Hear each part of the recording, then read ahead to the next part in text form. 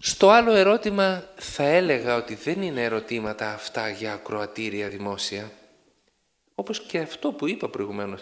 Είναι πάρα πολύ ωραίο πράγμα το ότι η Εκκλησία έχει την ποιμαντική της, η οποία σημαίνει κατά πρόσωπο να ενίσχυει του καθενός άνθρωπου. Άλλος αντέχει το α, άλλος αντέχει το β. Αλλά όντως υπάρχουν τέτοια προβλήματα, αλλά όχι τόσο πολλά όσα μας λένε, είναι σπάνια. Τα περισσότερα δεν έχουν αυτό το χαρακτήρα.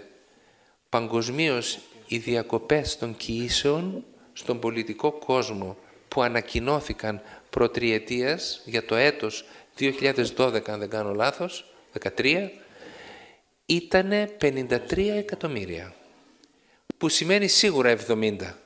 Μια Γαλλία κάθε χρόνο. Α, πάει κάτω. Τι να πει κανείς, αυτό δεν είναι πολιτισμός. Αυτό είναι φοβερό.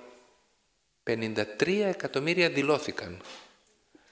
Και στη χώρα μας τα νούμερα είναι ποικίλα, έχουν αυξηθεί τώρα τα τελευταία, γιατί μέσω των συμβιώσεων, οπότε έχει ανεπιθύμητες εγκυμοσύνες.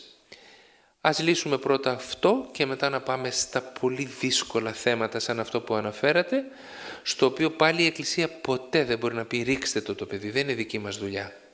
Αλλά μπορεί αυτούς τους γονείς που δεν αντέχουν να τους αγκαλιάσει αφού πάρουν μόνοι τους την απόφασή τους. Αυτά θα είχα να σας πω και πάλι να σας ευχαριστούμε πάρα πολύ.